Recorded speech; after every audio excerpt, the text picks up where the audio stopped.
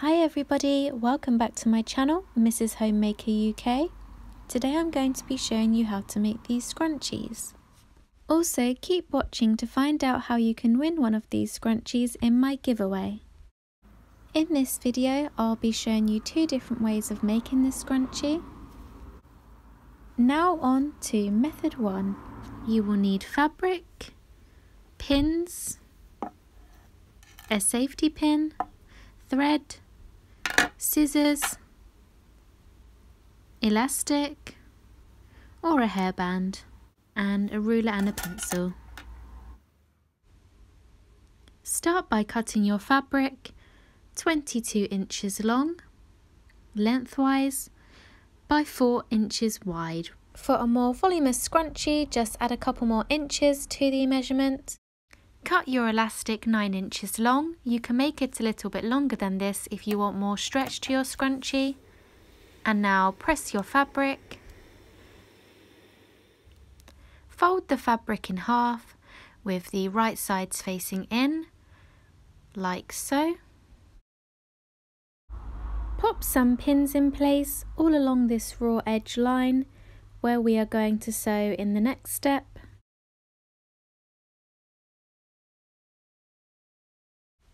And fold one end under like so. Fold it about half of an inch like so. Pop a pin in place and now we are going to sew all along this edge where I am pointing.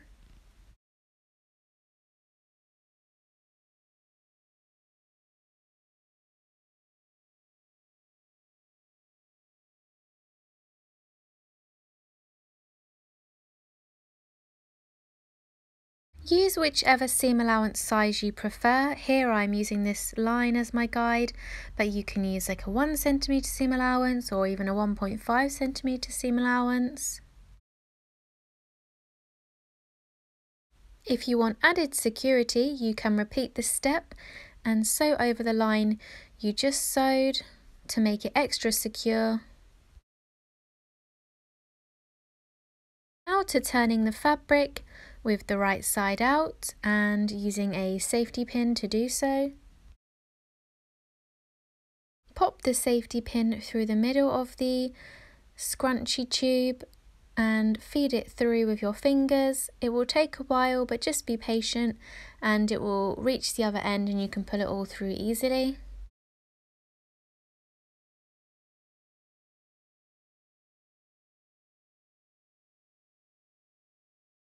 Now onto the pressing. First press it like so and then press it so that the seam here is flat so it's all even. With a safety pin, pass the elastic through the middle of the scrunchy tube. Bunching up the scrunchy tube as you go along and as you see I'm using my finger as like a guide to push the fabric towards the safety pin and then pull the safety pin out and tie a knot.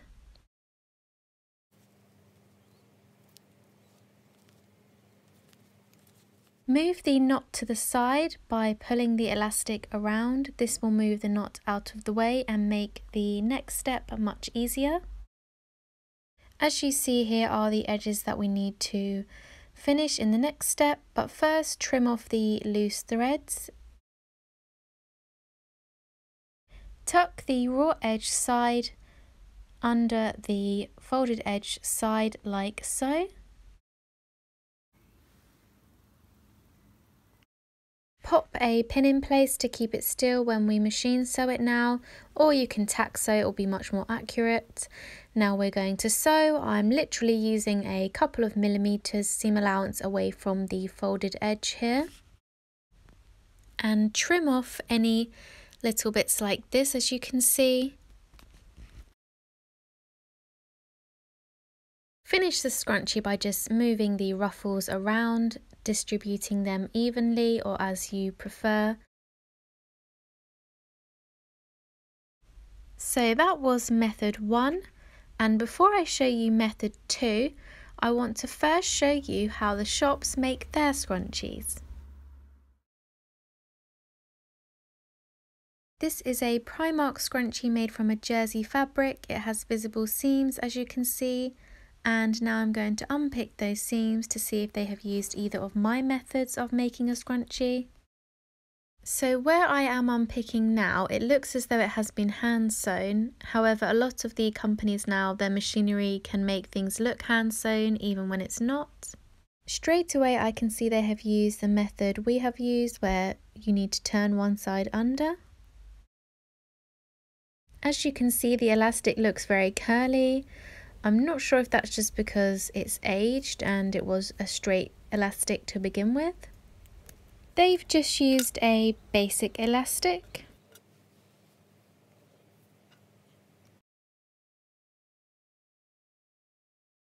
It appears with this seam they folded the edges under before sewing that seam. So that's pretty much it. They've made it in what looks like exactly the same way we have made it, and they've made it about 2.5 inches wide.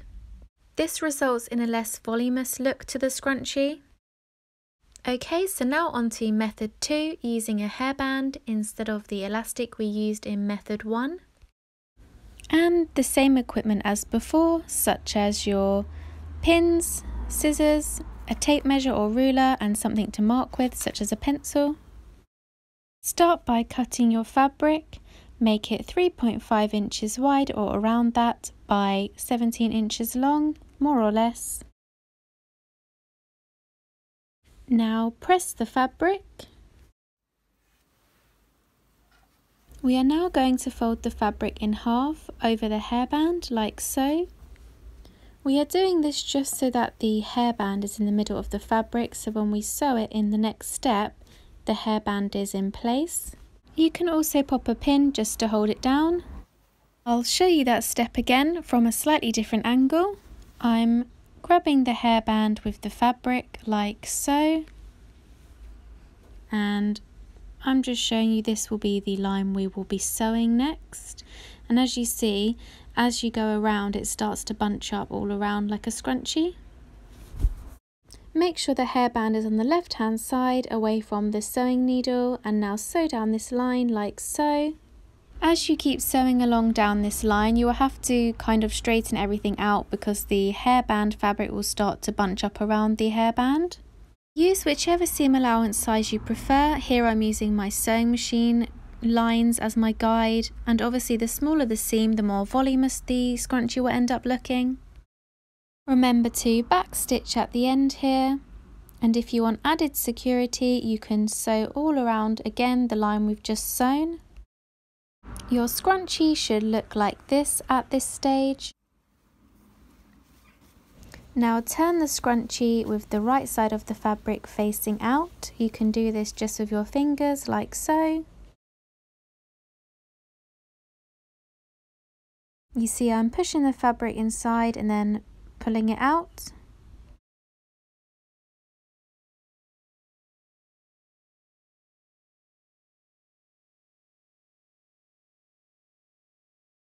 As you are pulling the fabric out at this stage, you can also tuck and fold those raw edges under and inwards back inside the scrunchie like so. Be sure to take your time with this step to get the best, neatest finish. Now using any other coloured thread like this bright colour, tack stitch in place the edges we've just folded under. Take one of the ends and put it under the other one that's folded under. Also, for the neatest finish, make sure that the seam here is lined up so it's one continuous line. Now tack stitch along this line. If you don't know what tack stitch means, it's just a hand sewn straight stitch, a loose type of stitch to keep everything down. As you can see, I have lined the seam up and everything is neatly lined up, ready to be hand sewn. Because the hand sewing takes a while, I like to tack a few of them or however many I'm making all at the same time.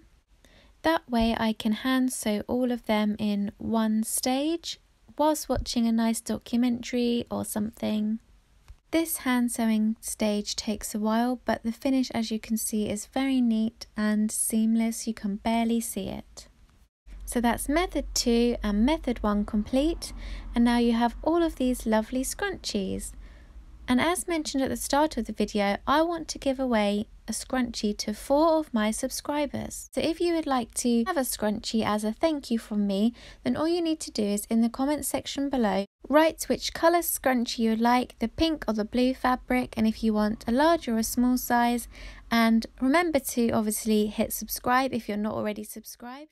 And the four lucky subscribers will receive a comment back from me in the comment section, so please keep an eye out in the comment section below this video. And finally, I'm only able to post these to subscribers within the UK because of the current coronavirus situation. I'm not sure if it will reach you if I post outside of the UK because of all the restrictions but I am planning on doing many more giveaways to my very loyal subscribers, so please do keep subscribing and keep watching. May you all stay safe and in the best of health. Take care and see you next time.